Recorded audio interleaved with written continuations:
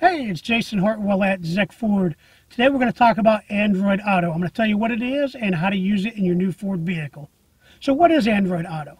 So Android Auto allows you to put some of the functions of your phone on the screen on your car. So your maps, navigation, you'll be able to put on the display of your Ford vehicle.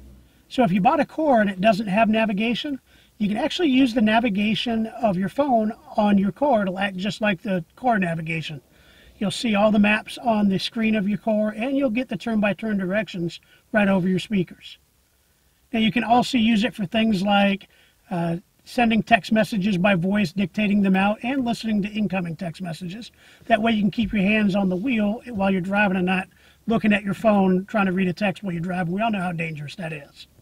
So let's go ahead and get started. The first thing you need to do is install Android Auto on your phone. So just go to the Play Store and search for Android Auto. Go ahead and install that and get it downloaded and install it. Once it's installed, go ahead and open it up and hit the settings cog at the top and make sure you enable auto enable new vehicles. That's going to allow you to plug in your phone to a new vehicle and have it pick up automatically. You also need to make sure that Android Auto is turned on in the car so just hit the settings and scroll over till you see Android Auto Preferences and then hit Enable Android Auto. Once you have Android Auto installed on your phone and turned on in the car, all you need to do is plug in your phone using a USB cable to the USB port in the car and you'll see you'll get some warnings that pop up on the car and on your phone. Just go ahead and click through all of them, agree to share permissions and whatever other options it gives you. So we hit continue here on the car and agree.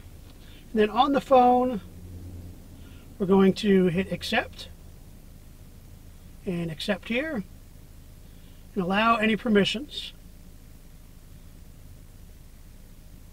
And then agree to the safety warning. And that's it. Now you're all hooked up to Android Auto and ready to start using it. So now I'm going to show you some of the things that you can actually do with Android Auto. So this is the main screen of Android Auto. And you can see you've got the five icons down below. Uh, first one is for your maps. Now this car doesn't have navigation. It is just pulling the maps from the phone. Second icon is for your phone. This goes back to the main screen, the middle button there that just shows you your recent notifications, weather, um, uh, missed phone calls, things like that. Headphone icon is for your music. It has Google Play, iHeart, and Spotify on there. And the last button is to go back to sync if you want to go back to your standard car controls. We're going to go back into Android Auto. And I'm going to show you how well this works. Now the nice thing is that you can use your voice uh, for controlling your phone and controlling your maps as you normally would with uh, Google Now. So to give you an example, you're going to hit the voice button on the steering wheel. If I want to get just uh, get directions, I'll just ask for directions. How do I get to Nebraska Furniture Mart from here?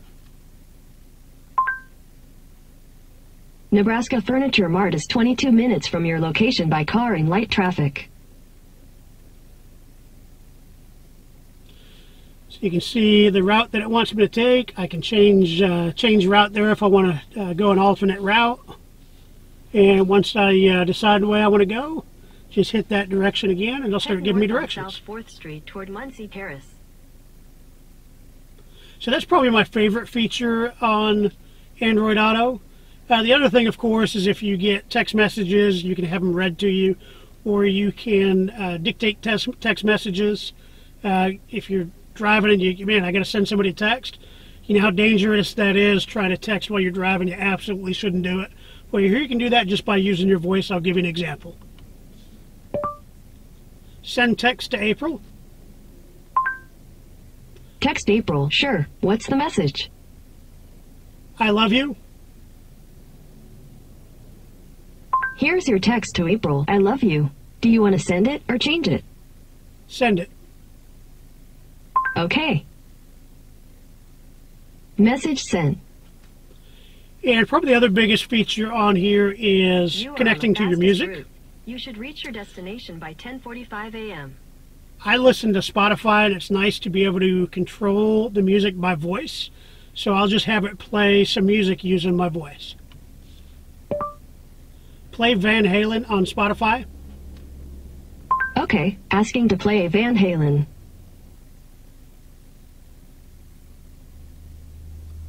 You see that just pulls uh, Van Halen right up. And I could have said the name of a song to play or an album. Uh, doesn't have to be just an artist. Now your volume controls on the steering wheel work. I can sit, skip songs using the buttons on my steering wheel. Yeah, if I click right here on the music button, you can scroll and see some of the other music by Van Halen. Now when you're driving, if I was actually driving, it wouldn't let me scroll except maybe once. And they would tell me that it's not safe to do that while I'm driving. So that's kind of a nice feature, trying to keep you safe.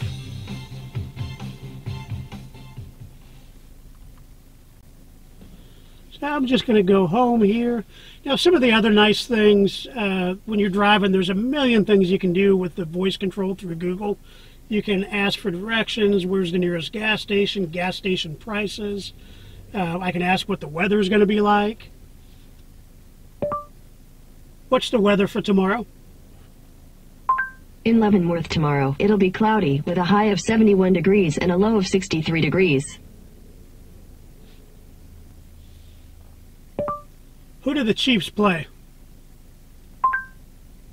Kansas City Chiefs are playing Oakland Raiders on Sunday at 3:05 p.m. So I could have asked for a score if they actually played this week. Uh, so you do sports scores, schedules, movies, just anything that you do by voice on Google, you'll be able to do through the uh, using the voice button on your phone. Now, all of the 2017 Fords that have the Sync 3 system already have Android Auto on them. Now, the great news is that the 2016s that have Sync 3 are getting an update later this year that'll allow you to use Android Auto on those as well. Hey, thanks for watching this video. Make sure you give us a like if you enjoyed it. If you have any questions, put them in the comments down below. You can also reach us on our website at zeckford.com. Thanks again for watching. Oh, hey, you're still here. Hey, while you're here, why don't you go ahead and hit the subscribe button? That way you see more great videos from us. Go on, I'll wait. I'll wait. Go ahead. I'm still waiting. To, no, just hit the button. It's right there. Hit the button and like it.